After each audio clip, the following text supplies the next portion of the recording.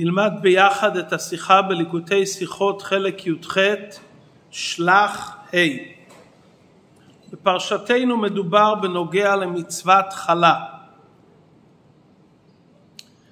וידבר השם אל משה לאמור, דבר לבני ישראל ואמרת עליהם, בבואכם אל הארץ אשר אני מביא אתכם שמה, והיה באכלכם מלחם הארץ, תרימו תרומה להשם. ראשית הריסותיכם חלה תרימו תרומה, כתרומת גורן כן תרימו אותה.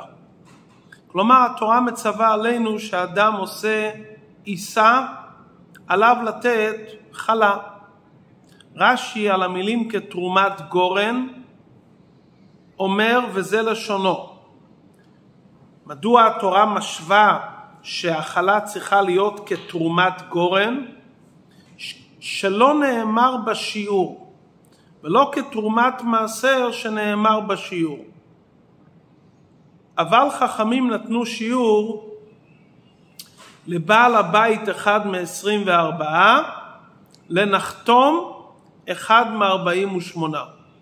כלומר, כמו שתרומת גורן, אדם רוצה לתרום מהגורן תרומה גדולה, חיטה אחת שהוא לוקח פותר את כל הקרי מתרומה, מספיק תרומה חיטה, כך גם כאן בחלה מהתורה אין שיעור באיזה גודל צריכה להיות החלה. אבל חכמים אמרו בעל הבית שעושה בביתו לוקח מהעיסה אחד, אחד מ-24, 1 חלקי 24, הנחתום שעושה באופן מסחרי נותן 1 חלקי 48 מהעיסה ומרים תרומה מהעיסה. עד כאן דברי רש"י. למדנו כבר מספר פעמים שרש"י לא מצטט סתם מדרשי חז"ל או עניינים שנוגעים להלכה. רש"י קבע את פירושו לתורה, אני לא באתי אלא לפשוטו של מקרא. זה שרש"י נכנס כאן לביאור ואומר שלא נאמר בשיעור והיא כתרומת גורן, רש"י מתכוון לומר מדוע התורה מביאה כתרומת גורן? כמו שתרומת גורן אין בה שיעור, גם בחלה אין שיעור. אבל למה, מדוע רש"י צריך להמשיך את דבריו ולומר שחכמים נתנו שיעור? מה זה נוגע לנו? הרי רש"י לא, הוא לא ספר הלכתי, רש"י בא לבאר את פשוטו של מקרא. בפשוטו של מקרא כתוב כתרומת גורן, וכמו שגורן תורמים אפשר גם חיטה אחת, גם חלה.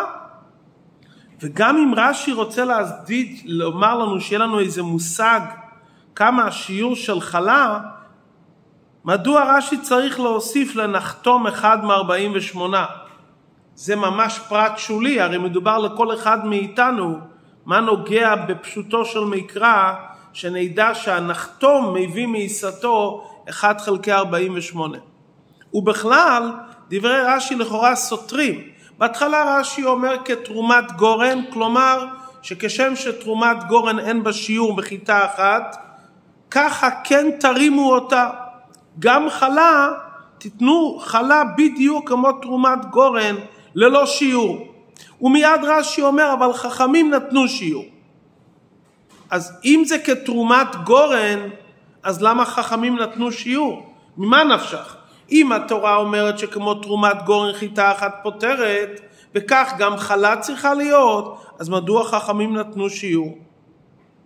ואם משום מה כן נותנים שיעור, אולי זה צריך להיאמר כמו שמובא בספרי על המשך הפרשה, כתוב תיתנו להשם תרומה, על המילה תיתנו תרומה בפסוק האחרון היה מתאים לומר מהי שיעור התרומה שעלינו לתת, ואז לומר 1 חלקי 24, 1 חלקי 48, כפי שבאמת בספרי כתוב על המילים תיתנו להשם תרומה, שיהיה בה מתנה לכהן.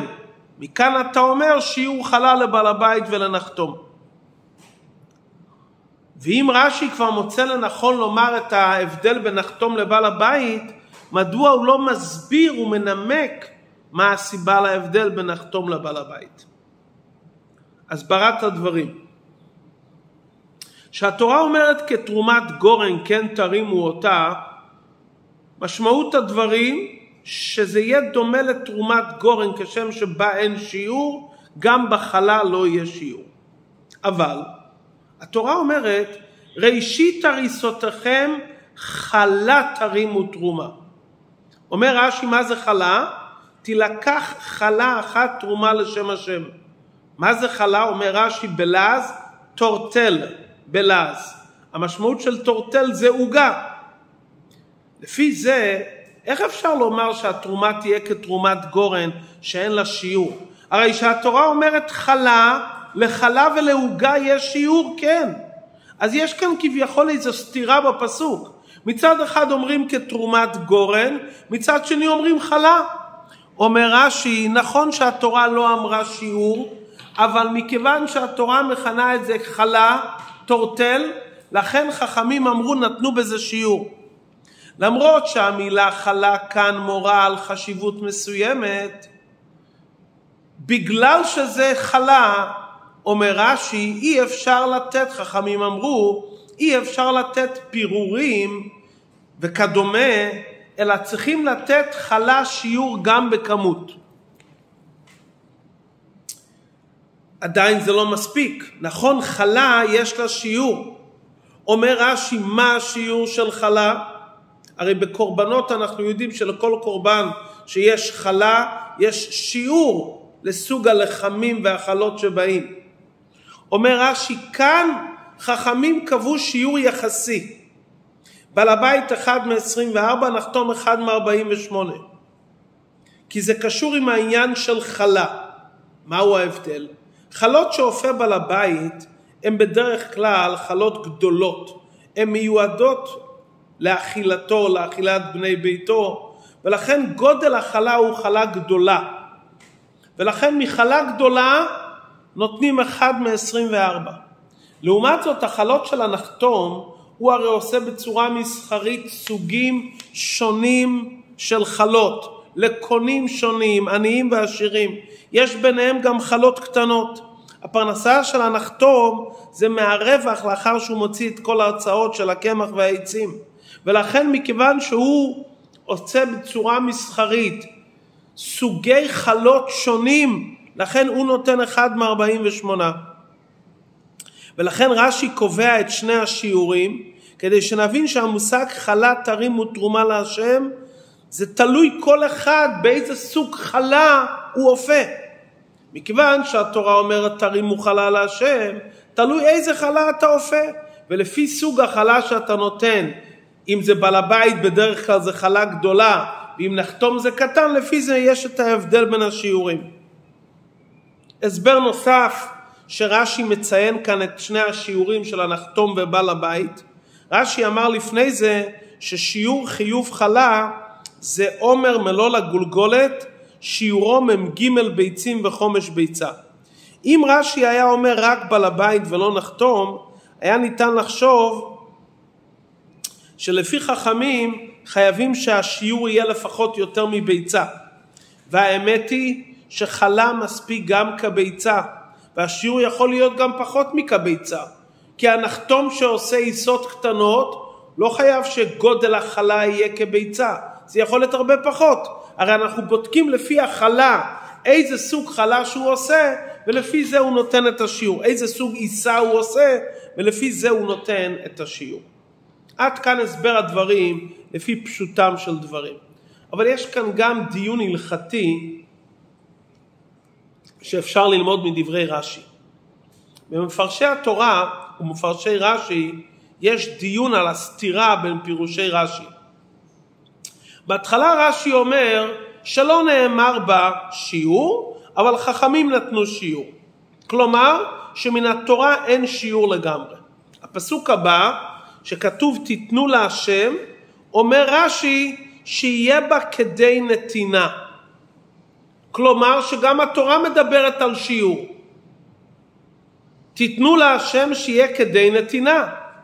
ומפרשי רש"י מבארים באופנים שונים. הראם לדוגמה אומר שמה שכתוב בפסוק הבא תיתנו להשם זה רק אסמכתה. מהתורה אין שיעור, אבל חכמים אמרו אסמכתה מהמילים תיתנו להשם. הגור אריה המהר"ל אומר שזה רק למצווה, כלומר מן התורה אין שיעור, אם אתה רוצה לעשות מצווה שאתה לא חייב בה, תיתן כדי נתינה, אבל גם אם נתת פחות משיעור נתינה יצאת ידי חובה. הנודע ביהודה מסביר באופן מאוד מיוחד ואומר כך, בחלה יש שני עניינים.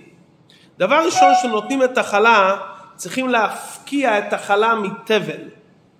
תבל זה דברים שאי אפשר לאכול אותם. עצם ההפרשה שאתה מפריש, אתה מפקיע את ההאכלה מתבל, שהיא תהיה מותרת באכילה. זה הדין הראשון שיש לנו בחלה. הדין השני, עיקר המצווה, לתת את החלה על הכהן. אומר הנודע ביהודה, מה ההבדל בין שני העניינים, האם להפקיע את העיסה מאיסור או לתת לכהן? אם מדובר להפקיע את איסור התבל מהעיסה, אין שיעור מהתורה.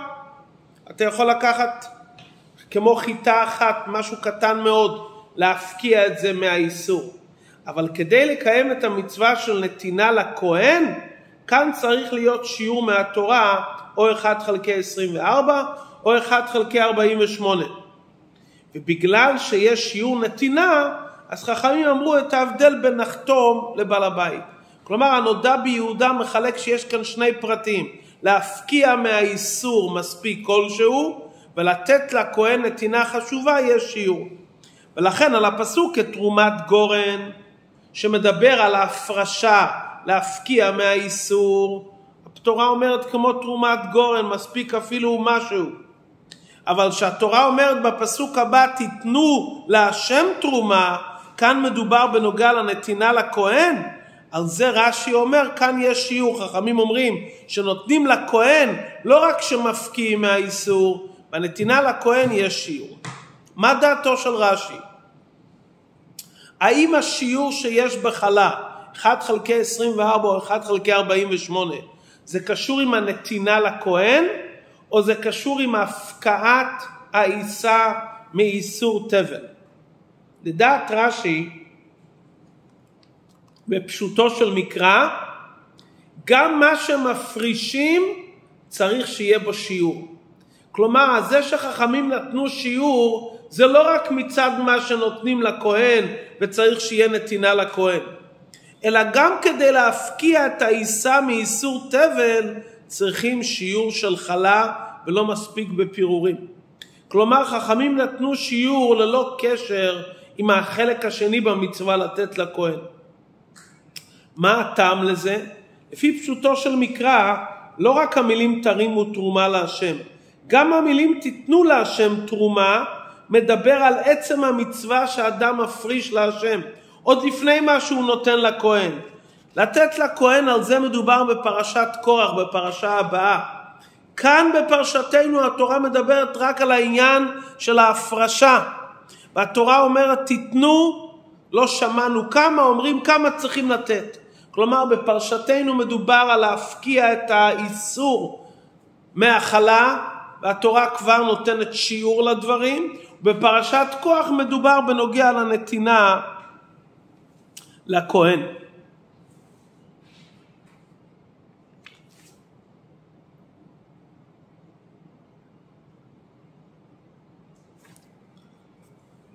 עד כאן הסברנו את הדברים, החלק ההלכתי, לפי דברי רש"י. מה אנחנו לומדים כאן בעינה של תורה? יש כאן לימוד נפלא בהבנת מצוות החלה על פי חסידות. נאמר במדרש, למה נסמכה פרשת חלה לפרשת עבודה זרה?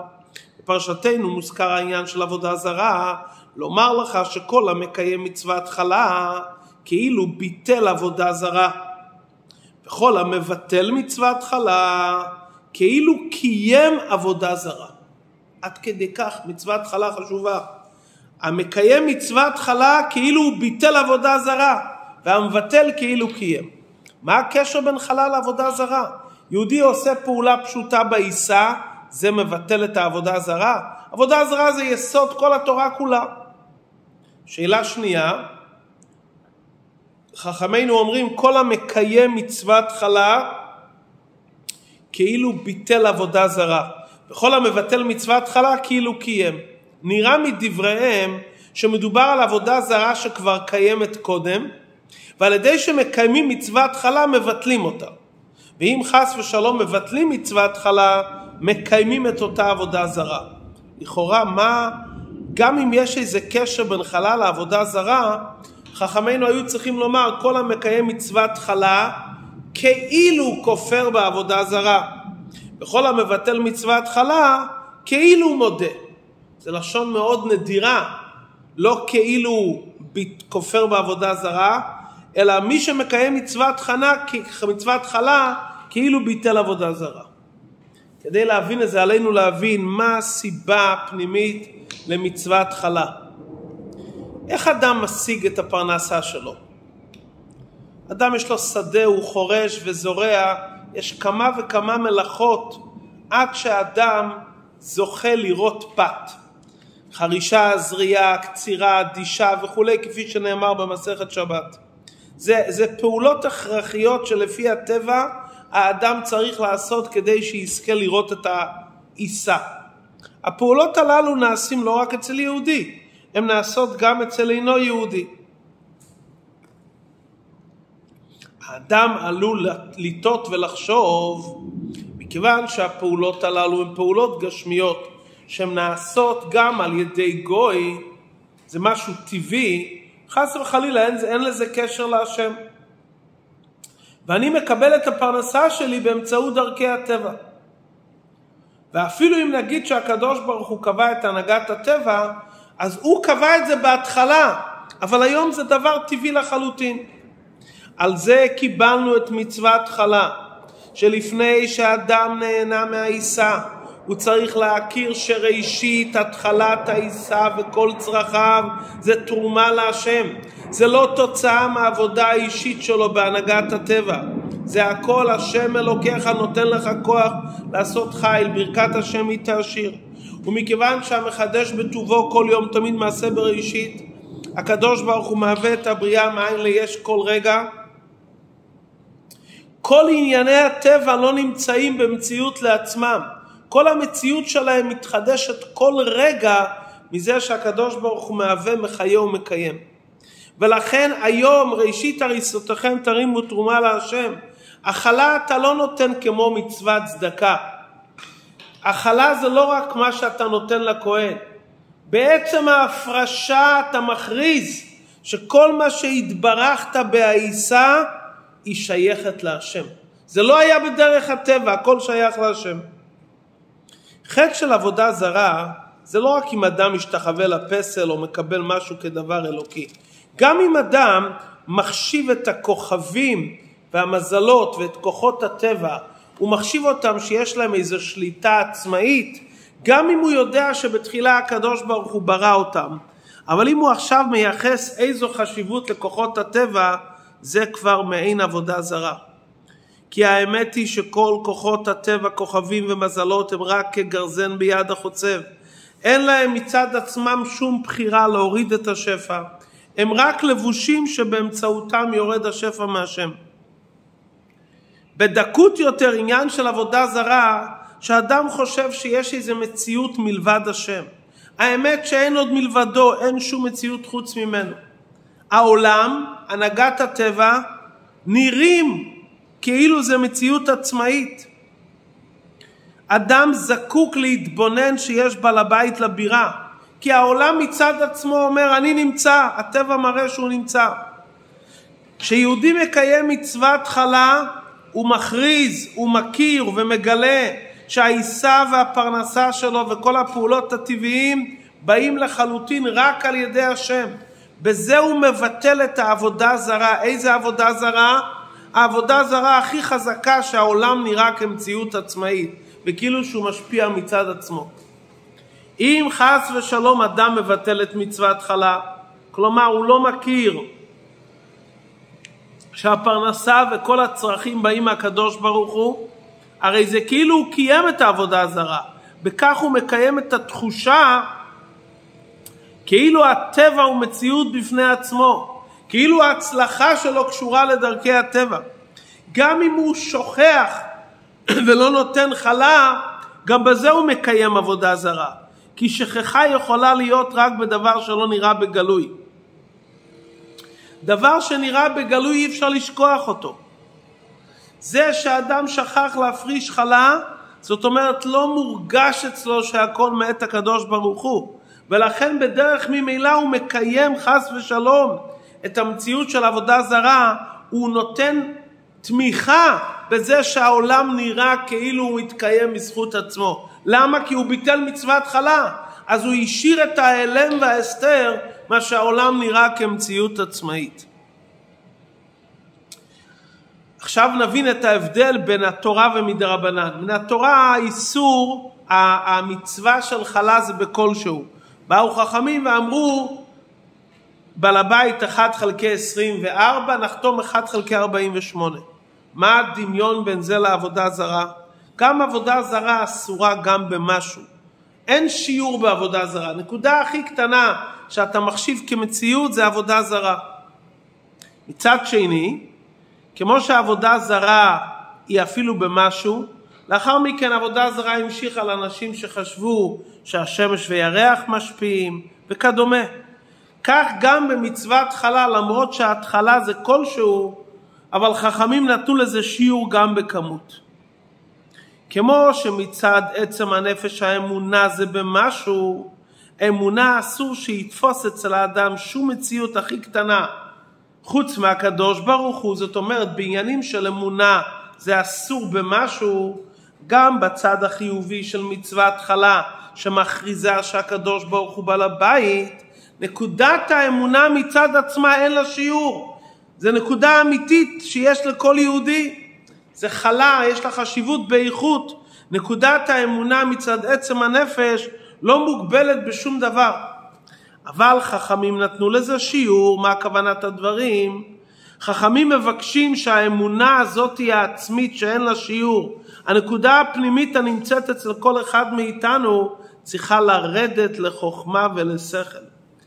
כמו שבעבודה זרה יש שיעור מסוים עד כמה האדם טועה במציאות העבודה זרה, כך גם מצוות החלה, הביטול והשלילה של עבודה זרה צריכה לרדת לשכל האדם ויש לזה שיעור באיזה אופן זה נתפס בשכל האדם. כי אין הכוונה כאן רק עבודה זרה כפשוטה, אלא הכוונה מה שאדם לא יהיה לו במחשבתו תפיסת מקום בדקות לדרכי הטבע. ובזה יש הבדל בין נחתום לבעל הבית. לא בנקודת האיסור, נקודת האיסור שווה בכולם. עבודה זרה במשהו זה כבר איסור. מה ההבדל בין נחתום לבעל הבית? זה איך שזה מתפרש ויורד ומתלבש בחיי היום יום. למדנו בחסידות ההבדל בין הבעל עסק ליושב אוהל, שבעל עסק שצריך לעשות הרבה פעולות כדי להרוויח מעסקים, לקנות סחורה, למכור, תלוי הכל בתנאי הזמן והמקום, עליית שערים וכדומה, הוא רואה לעיתים קרובות איך הקדוש ברוך הוא מסבב הסיבות, מביא לו הצלחה במסחר. ולכן בעל עסק מבחין בהשגחה פרטית לעיתים קרובות יותר מאשר יושב אוהל שיש לו משכורת קבועה מן המוכן. זה ההבדל בעצם בין בעל הבית לנחתום. בעל הבית בדרך כלל, בעלת הבית שהיא עסוקה עם אפיית ההאכלות והלחם, בדרך כלל היא לא מעורה כל כך בענייני העסקים, איך הכסף הגיע. זה מגיע לה בדרך כלל כדבר מוכן. אז היא פחות חשה את התלות בקדוש ברוך הוא, כי היא מקבלת כל פעם את הסכום שהיא מקבלת והיא קונה מזה עיסה וכולי. לכן אומרים, אלו שלא מכירים בהשגחה פרטית, לא זכו להכיר ולראות את ברכת השם בגלוי, הם צריכים לתת שיעור יותר גבוה בחלה, 1 חלקי 24. כי הם נזקקים לתזכורת יותר גדולה לא לשכוח מהקדוש ברוך חס ושלום. אבל הנחתום שהוא איש עסקים, והוא כל הזמן נמצא בצורכי הפרנסה, קנייה ומכירה, הוא רואה את ההשגחה הפרטית יותר בגלוי, איך שהשם שולח לו לפרנסה. לכן מספיק לו לתת שיעור קטן יותר, 1 מ-48. כי זה מספיק לו למנוע ממנו את הטעות שהפרנסה באה בדרכי הטבע. אם כן, העבודה זרה זה המחשבה שהפרנסה וההצלחה של האדם באים בדרכי הטבע. מצוות חלה זה ההכרזה והאמירה, אני מפקיע את הטעות שדרכי הטבע הם עצמאיים. אני מכריז שגם החלה הגשמית שיש לי, כל כולה היא חלק מברכת השם. כשיהודים מקיימים מצוות חלה, הם זוכים לנאמר בנביא להניח ברכה על ביתך. מביא ברכה לבית שכל ענייני הבית יהיו מנוהלים כרצון השם. ואז שורה כפשוטה בכל ענייני הבית ברכה, בבני חיה ומזוינה רביכה.